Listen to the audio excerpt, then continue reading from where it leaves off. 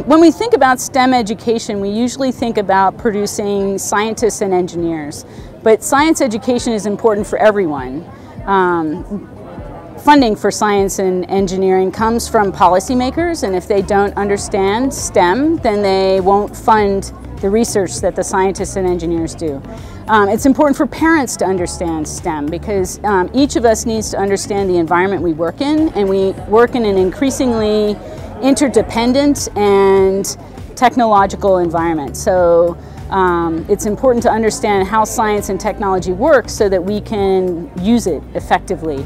So the problem with science and, uh, science, um, and engineering education has been that we teach it poorly.